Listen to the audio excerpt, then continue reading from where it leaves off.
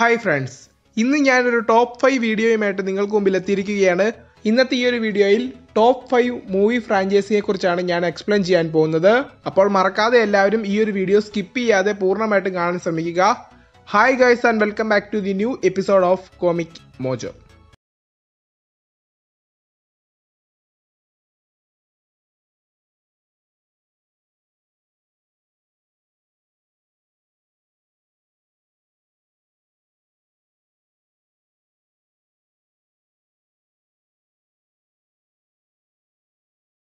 അപ്പോൾ ഫ്രണ്ട്സ് നമ്മൾ ഡയറക്റ്റ് ആയിട്ട് വീഡിയോയിലോട്ട് കടക്കാൻ പോവുകയാണ്. പക്ഷേ നമ്മൾ ഈ ഒരു ടോപ്പ് ഫൈവ് വീഡിയോയിൽ ലോർഡ് ഓഫ് റിങ്സിന്റെ മൂവി ഫ്രാഞ്ചൈസി നമ്മൾ ആഡ് ചെയ്തിട്ടില്ല. കാരണം മറ്റൊന്നുമല്ല ഞാൻ ഈ ഒരു മൂവി ഫ്രാഞ്ചൈസി കണ്ടിട്ടില്ല. അതുകൊണ്ട് മാത്രമാണ്. ഈ ഒരു മൂവി ഫ്രാഞ്ചൈസി കണ്ടിട്ടുള്ള എല്ലാവർക്കും തന്നെ വളരെയധികം ഫേവറേറ്റ് ആയിട്ടുള്ള ഒരു മൂവി ഫ്രാഞ്ചൈസിയാണ് ലോർഡ് ഓഫ് റിങ്സുമായി ബന്ധപ്പെട്ടിട്ടുള്ള എല്ലാ മൂവീസും ഞാൻ കണ്ടതിന് ശേഷം ഈ ഒരു മൂവീസിന്റെ എക്സ്പ്ലനേഷൻ ഞാൻ മറ്റൊരു വീഡിയോയിലൂടെ നിങ്ങൾക്ക് മുമ്പിൽ അവതരിപ്പിക്കുന്നതായിരിക്കും. അപ്പോൾ നമുക്ക് വീഡിയോയിലോട്ട് കടക്കാം.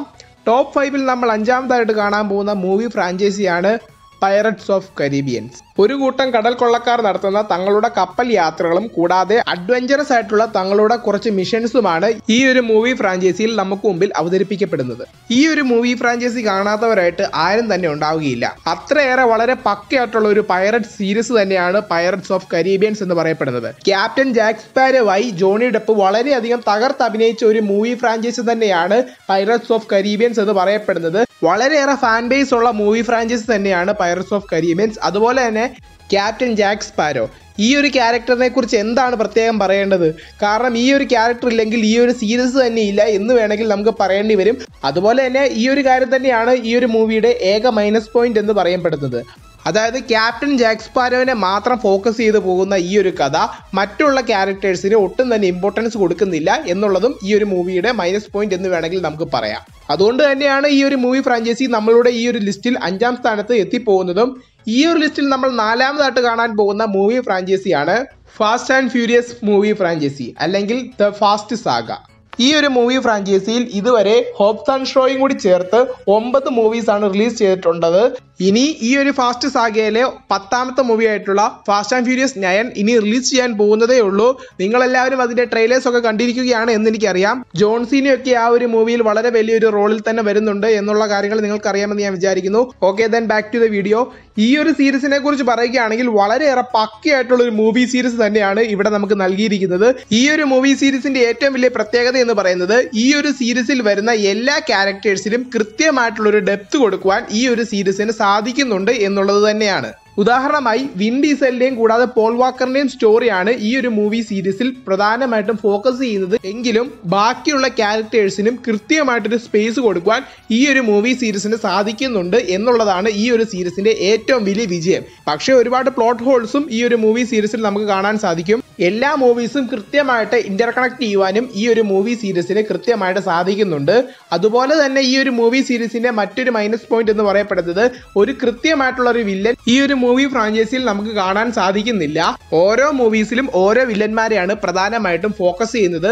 മിക്കവാറും ഈ ഒരു രീതി ഫാസ്റ്റ് നയനോടുകൂടി അവസാനിക്കുകയും ഒരു വളരെ വലുതായിട്ടുള്ള ഒരു മേജർ വില്ലനെ ഇവർക്കെതിരായിട്ട് കൊണ്ടുവരാനും സാധ്യതയുണ്ട് എന്നുള്ളതാണ് എന്റെ ഒരു ഗസ്സിംഗ് ഈ എല്ലാ കാര്യങ്ങളും കൂടി കൂട്ടി നോക്കുമ്പോൾ വളരെയേറെ പക്കയായിട്ടുള്ള ഒരു മൂവി ഫ്രാഞ്ചൈസ് തന്നെയാണ് fast and furious movie franchise എന്ന് പറയപ്പെടുന്നത്. അതുകൊണ്ട് തന്നെ ഈ ഒരു ലിസ്റ്റിൽ നാലാം സ്ഥാനം ഫാസ്റ്റ് ആൻഡ് ഫ്യൂരിയസ് മൂവി ഫ്രാഞ്ചൈസിക്ക് അവകാശപ്പെട്ടതാണ്.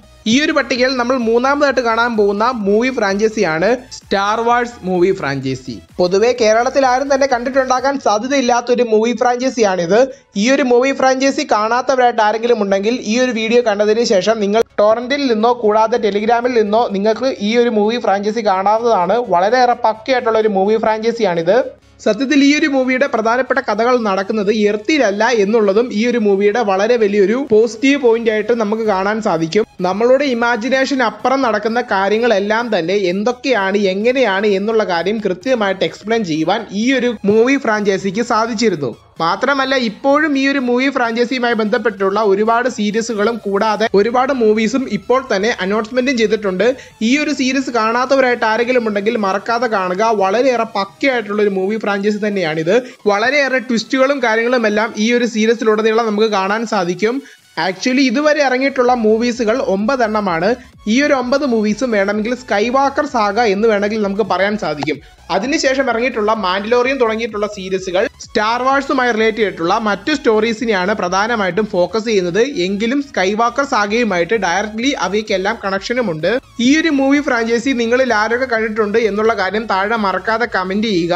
നമുക്ക് മുമ്പിൽ ഇമാജിനേഷന്റെ വളരെ വലിയൊരു വാതിൽ തുറന്നു തന്ന ഈ ഒരു മൂവിക്ക് നമ്മുടെ ഈ ഒരു ലിസ്റ്റിൽ മൂന്നാം സ്ഥാനത്തിന് കൃത്യമായിട്ടുള്ള അർഹത തന്നെയുണ്ട്. നമ്മളുടെ ഈ ഒരു പട്ടികയിൽ നമ്മൾ രണ്ടാം സ്ഥാനത്ത് കാണാൻ പോകുന്ന മൂവി ഫ്രാഞ്ചൈസിയാണ് ഹാരി പോട്ടർ എന്ന് പറയപ്പെടുന്നത്. ഈ ഒരു മൂവി ഫ്രാഞ്ചൈസിയെ കുറിച്ച് ഞാൻ എന്താണ് പറയേണ്ടത്?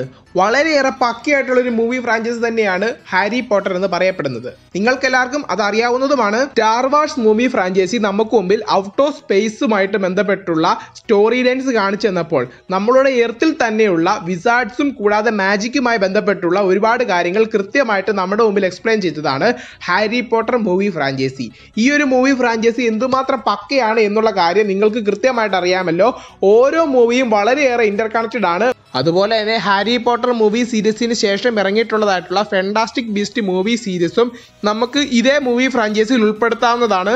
വളരെയേറെ ഐക്കോണിക് ആയിട്ടുള്ള ഒരു മൂവി ഫ്രാഞ്ചൈസ് തന്നെയാണ് ഹാരി പോട്ടർ എന്ന് പറയപ്പെടുന്നത്. അതുപോലെ തന്നെ ഹാരി പോട്ടറിന്റെ ബുക്കിലുള്ള കാര്യങ്ങളെല്ലാം തന്നെ കൃത്യമായിട്ട് നമ്മുടെ മുമ്പിൽ കാണിച്ചു തരുവാൻ ഈ ഒരു മൂവി സീരീസിന് സാധിക്കുന്നുമുണ്ട് എന്നുള്ളതും ഈ ഒരു മൂവി സീരീസിന്റെ വളരെ വലിയ വിജയങ്ങളിൽ ഒന്നാണ്. ഈ ഒരു മൂവി സീരീസിൽ നമ്മൾ കാണുന്ന ഒരുപാട് ട്വിസ്റ്റുകളും കാര്യങ്ങളും എല്ലാം നമ്മളെ വളരെയധികം ത്രില്ലടിപ്പിക്കുന്ന ഒന്നാണ് എന്നുള്ള കാര്യം നിങ്ങൾക്ക് എല്ലാവർക്കും അറിയാമല്ലോ.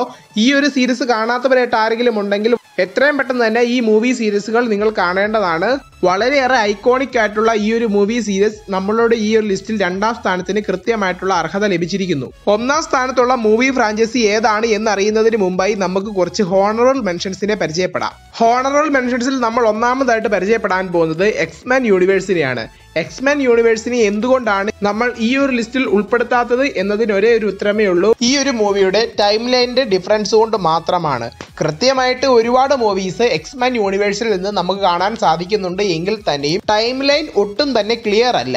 ഡെഡ് പൂൾ മൂവിയിൽ ഈ ഒരു കാര്യം നമുക്ക് കൃത്യമായിട്ട് മനസ്സിലാക്കാൻ സാധിക്കും. എത്രയാണെങ്കിലും ടൈം ലൈനുമായി ബന്ധപ്പെട്ടുള്ള ഒരുപാട് തിയറീസ് ഉണ്ടെങ്കിൽ തന്നെയും ഈ തിയറീസ് എല്ലാം തന്നെ കൺഫേംഡ് അല്ല എന്നുള്ളതാണ് മറ്റൊരു സത്യം.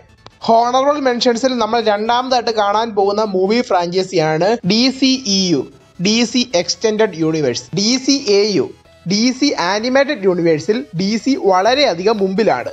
ഡി സിയുടെ രോമത്തെ തൊടാൻ പോലും മറ്റൊരു കമ്പനിക്കും സാധിക്കുകയില്ല. കാരണം വളരെ പക്കയായിട്ടുള്ള ആനിമേറ്റഡ് യൂണിവേഴ്സാണ് ഡി സിക്ക് ഉള്ളത് പക്ഷേ മൂവി സൈഡിലോട്ട് വരുമ്പോൾ വളരെയധികം വീക്കായിട്ടാണ് നമുക്ക് ഡി സിയെ കാണാൻ സാധിക്കുന്നത്.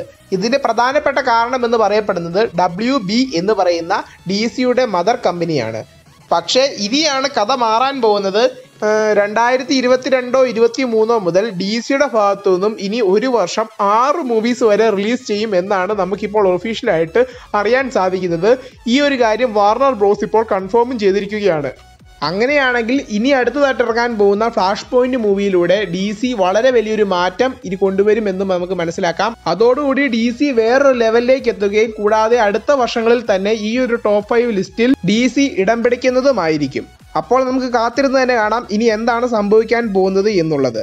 ഹോണറൽ മെൻഷൻസിൽ നമ്മൾ അടുത്തതായിട്ട് കാണാൻ പോകുന്നത് ജുറാസിക് പാർക്ക് അല്ലെങ്കിൽ ജുറാസിക് വേൾഡ് മൂവി ഫ്രാഞ്ചൈസിയാണ് വളരെയേറെ പക്കയായിട്ടുള്ള ഒരു മൂവി ഫ്രാഞ്ചൈസി തന്നെയാണിത്.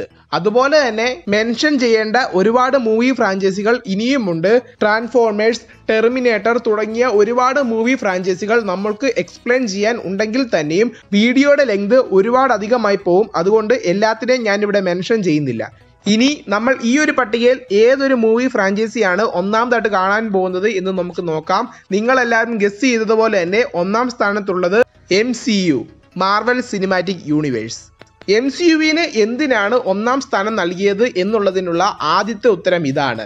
ഏകദേശം ഇരുപത്തി മൂന്നോളം പടങ്ങൾ മൂന്ന് ഫേസുകളിലായി കൃത്യമായി ഇൻഫിനിറ്റി സാഗ എന്ന് പറയുന്ന വളരെ വലിയൊരു ഇവന്റിനെ നമുക്ക് മുമ്പിൽ അവതരിപ്പിച്ചു വിജയിച്ചു എന്നുള്ളത് തന്നെയാണ് ഈ ഒരു മൂവി ഫ്രാഞ്ചൈസിയുടെ ഏറ്റവും വലിയ വിജയം എന്ന് പറയപ്പെടുന്നത്.